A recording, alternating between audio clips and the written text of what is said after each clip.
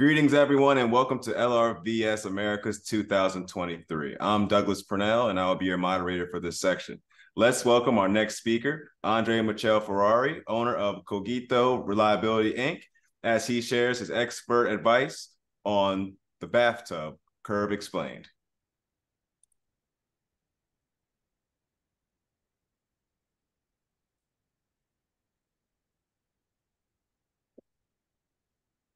Good day, reliability and maintenance fellow professionals. My name is Andre Michel Ferrari. I am a reliability engineer and owner of Cogito Reliability. Today I'm going to make you discover or maybe rediscover the bathtub curve, which is a con common concept in reliability engineering. First of all, I'd like to thank the LRVS 2023 organizing committee for inviting me again this year, and specifically Sanya Mathura, who not only is a great organizer, but also an outstanding colleague in the world of maintenance and reliability engineering, women in STEM, and many other great initiatives that bring this community together. So jumping in as part of the presentation of objectives, we will introduce reliability engineering concepts, and then we will use those concepts to understand where and how a bathtub curve comes from. The reason I am introducing reliability engineering principles is because when I perform a reliability study on an asset, uh, there's a vast amount of information that comes out of the study which can satisfy many different needs in an organization from supply chain, that is spare parts, to maintenance strategies via designs and budgeting. We will then understand how the bathtub curve is built and finally see examples of what information it provides us. When we do a reliability study on an asset, we typically use lifecycle records such as failures or specific performance parameters of interest to us. In this process example here, I have a set of n new light bulbs on a test bench. I switch all the light bulbs on simultaneously at time zero and record the time to the failure of each of the light bulbs. We can see that the individual units fail at different intervals. Some fail early, some later, and some not at all uh, when the test is finished.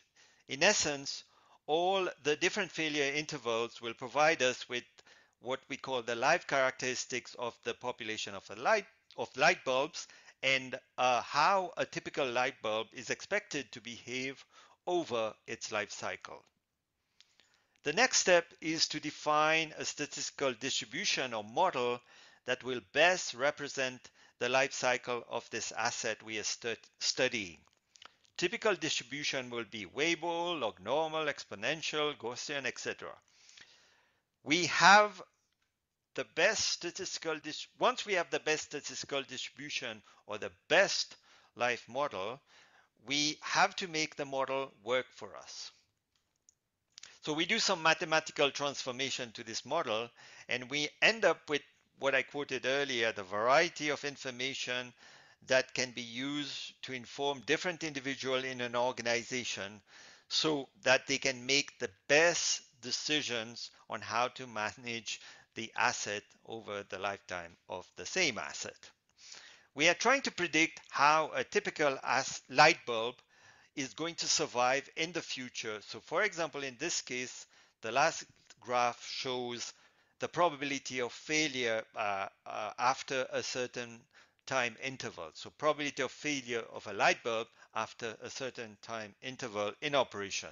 So in this case, reading off the graph, we have 70% chance of having a failure after 900 days of operation of a light bulb.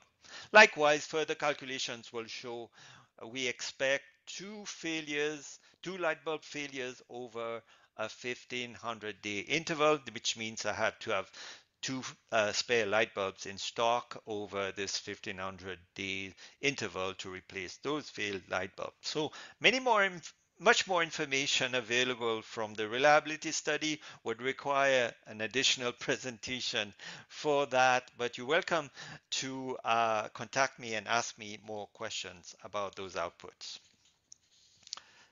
So moving on, as mentioned earlier, a reliability study can provide various types of information to an operator. In this slide, we show two outputs. One on the left, which is a probability of failure graph mentioned earlier, and the one on the right is called a failure rate graph. The probability of failure uh, graph, probability of failure graph on the left can be used for risk calculation. Typically, risk is a product of probability of failure and consequence as shown in the equation below. So if we have the probability of failure here and we know the consequence, we can estimate the risk uh, in terms of uh, the future performance of the asset. The other graph on the right is much more of interest to us in this presentation. It is what we call a failure rate curve, and it represents the speed, the celerity of failure over time. We have the speed of failure on the vertical asset axis and the asset lifetime from time zero on the horizontal axis. The failure rate is expressed in failures per unit of time. So failures per year, failures per uh, month, etc. Typically, failure rate curves increase over the lifetime of the asset. For example, if you own a vehicle, the frequency of failures will increase over time as the vehicle ages. Failures will occur more and more frequently. So if you have a failure rate curve for your car, it will show an increase over time, just like the, the curve on the right. However, it, this is not always the case. We, we don't have always have increasing failure rate curves, as we will see when we start talking about the bathtub curve in the next slide. We have previously defined the required reliability concept, so now let's move into building the bathtub curve. The theoretical bathtub curve is essentially a combination of three failure rate curves as shown on the right here, the red, the blue, and the green. We have the uh, failure rate or the speed of failure over time on the vertical axis and the asset lifetime on the horizontal axis.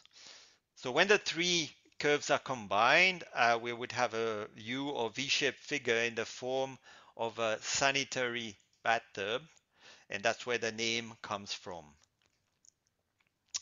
A bit like a, all this is a bit like a roller coaster ride, but isn't it uh, what operating a plant is like? Ups and downs all the time. On a side note, those three curves are built based on a Weibull distribution and beta, the Greek letter B, uh, is, uh, is the shape parameter of the Weibull distribution. We will not be elaborating further on this, but you're welcome uh, to contact me if you want uh, further explanation on Weibull statistical distributions. So why three? Why three failure rate curves or three statistical phenomena? This is because the typical life of an asset can see three stages, uh, which I will define. So at the start on the left where beta is um, uh, less than one, uh, the, the, we have the stage called infant mortality, which represents uh, premature failure due to manufacturing defects or uh, inadequate maintenance practices. Maybe because we we have lots of lubrication expert here. It could be due to over lubrication uh, or inadequate lubrication. Um, those failures are best addressed by uh, root cause analysis, doing an RCA, and identifying the root cause of the undesirable phenomena occurring here uh, or the incorrect work practices, and then correcting them. Uh, just, uh, just to, there's a paradigm that uh, we buy new equipment and they, they wouldn't, they should not fail at the start, but the bathtub curve shows you that you can have early failures. So an example of infant mortality is you buy a shiny new car and drive up, drive off the dealership parking lot only to find out that uh, this car has defects. So now you have to come back and get it repaired. So now moving on to the middle section. Uh, this is called the random failure or useful life section. Uh, the failure rate as uh, represented here is flat. It's constant, meaning that uh, the failure rate does not change over time. So failures occur at random and appear to be influenced by external factors rather than the degradation of the asset itself. From a maintenance standpoint, this uh, section is extremely difficult to manage. Preventive maintenance or proactive repairs are not effective. And uh, we need contingency plans like uh, readily available spare parts or uh, ready to go uh, repair plan uh, as, as the best strategy, right? As with infant mortality, this interval is, uh, is also uh, undesirable. So example of random failures, your shiny new uh, defective now fixed car is on the road for five years, it's battered by potholes, weather, or maybe poor driving habits and fails unexpectedly even if you follow the correct maintenance practices. So moving on to the rightmost section, where beta is more than one. This is called the uh, aging or wear out section. The failure rate as represented here increases or, over time. And uh, this corresponds to the time in the life of an asset where age-related failures appear to increase over time. So the use of the asset over time generates deterioration, leading to an increase in repair frequency and subsequently an increase in the cost of maintenance. So this section offers a predictable failure pattern over time and can be managed by a variety of maintenance tasks. So in the ideal world, in the best of worlds, all assets should only have a wear out failure rate so that financial and other resources can be planned and allocated for the medium or long term, including uh, end of life replacement. So an example of wear out failures using your vehicle again, it's not so shiny anymore. It's been on the road for 10 years. Its components start wearing out one by one and you see more and more frequent failures. So um, the deterioration of component can also lead to secondary damage escalating the failure frequency. So in this case, you can estimate when the next failure is going to occur and also plan ahead for a new replacement car. Moving on. So the bathtub curve illustrated in the previous slide was perf perfectly symmetrical.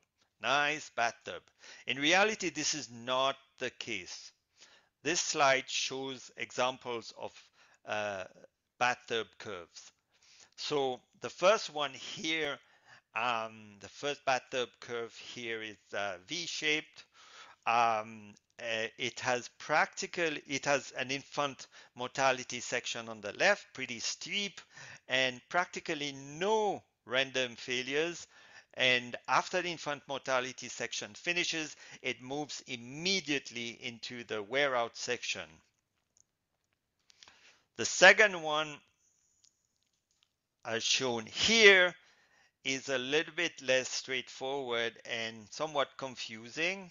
Uh, it's a W-shaped bathtub curve indicated that this hump in the middle, uh, uh, it, we have competing failure modes, but we can still see um, the infant mortality section on the left, pretty steep, and the final wear out element or section on the right. So this is just to show that bathtub curves are not symmetrical in reality and um, they can have various shapes and uh, we will now move on to see how we can extract information from so now let's jump into the analysis of an example of a bathtub curve. Typically use the software and enter my failure records and then I get uh, um, uh, this bathtub curve here, right? Remember bathtub curve is made up of Weibull distributions and so the um, the software I would use would uh, give me uh, the number of uh, sections that I have in my bathtub curve. In this case, I have three sections, population one, population two, and population three. And uh, the second rows give me the parameters that govern each of the three Weibull distributions. So the beta shape parameter or the eta scale parameter. The software gives me all those parameters on the two rows.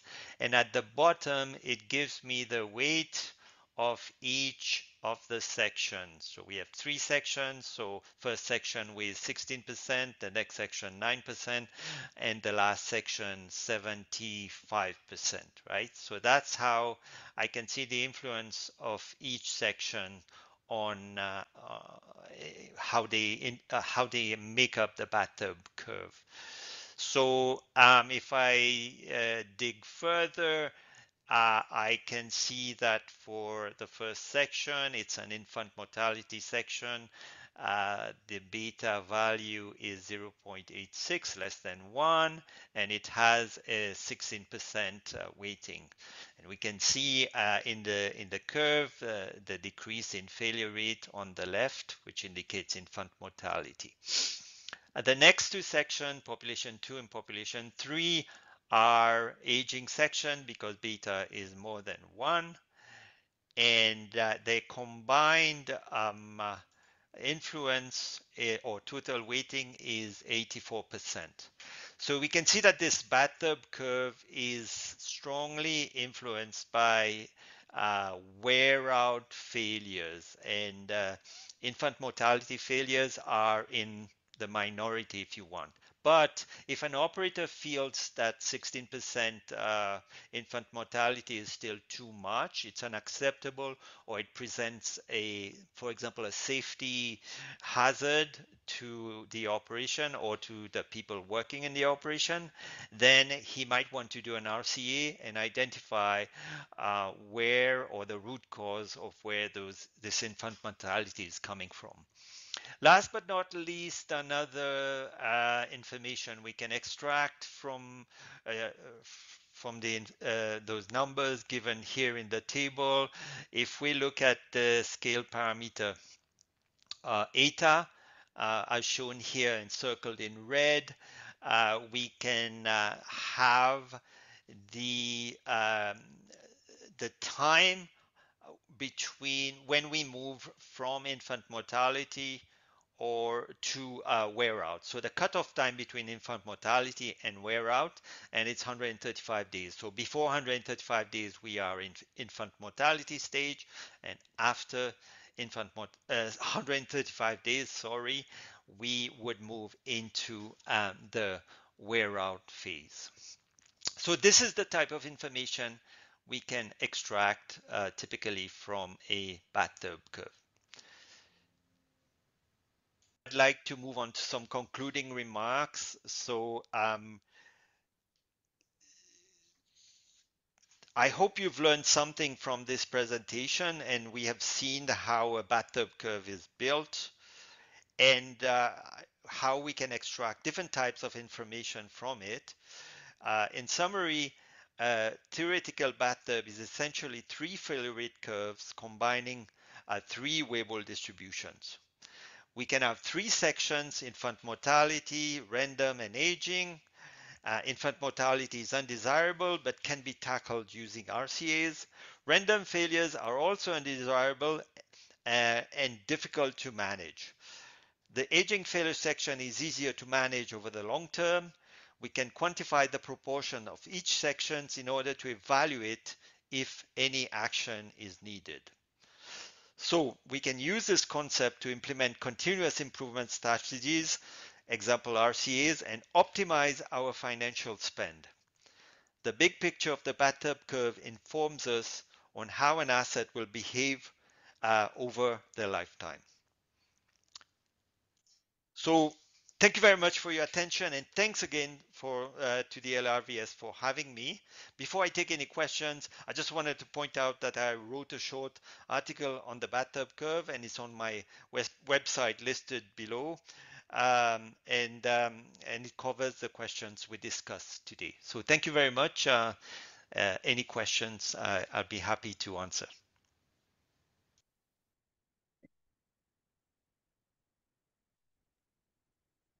Uh, that was a great that was a great presentation. So now we would like to open up the floor if anyone should have any questions.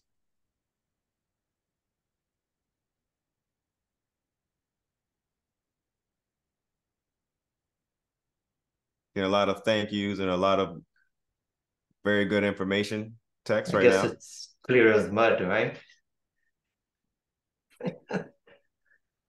now I think this is a very very good presentation. Um, so when speaking on, let's say, a lubrication plant, right, or somewhere where you know lubricants are heavily used, um, since you don't really like preventative maintenance and RCA's are the way to go, what is something that you have typically experienced in the field that uh, could cause infant mortality? Yeah, it's like probably bad lubrication or inappropriate uh, um, poor maintenance practices, you know, over lubricating. Um, so if if your technicians, it's no fault of them, but if not, they're not trained properly. Um, you know, they don't know what they're doing. Um, they they don't know what the frequency or the quality or it was mentioned earlier about contamination, all this, and it can cause infant mortality.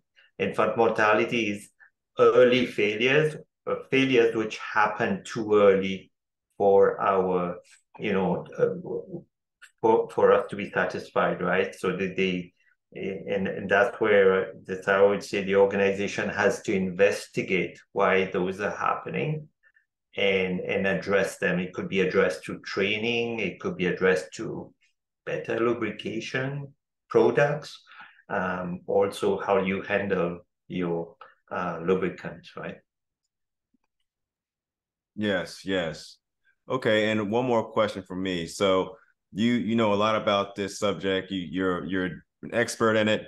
Um, if you had say you you were lucky, you're in a plant, you found a, a genie in the plant. You can make one wish that everyone could effectively, you know, do one thing to make everything more reliable. What would that be?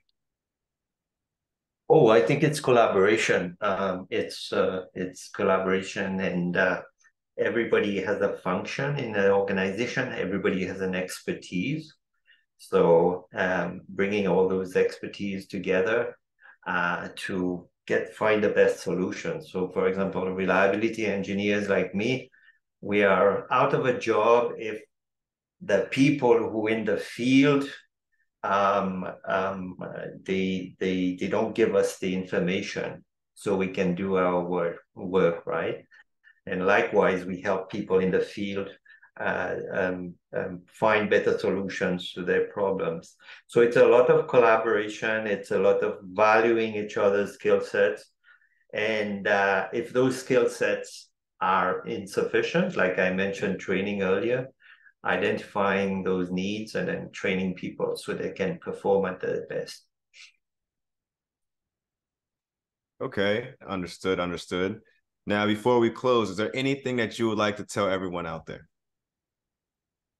Yeah, well, so if you, if anybody has any questions, uh, I'm not a reliability, uh, sorry, I'm not a lubrication expert, but uh, I have done lots of work with uh, lubrication people. If you have any questions on the presentation, please uh, please send me those questions, and I'm happy. I'll be happy to uh, inform you or answer your questions, and maybe help help you get better at your job whilst learning myself.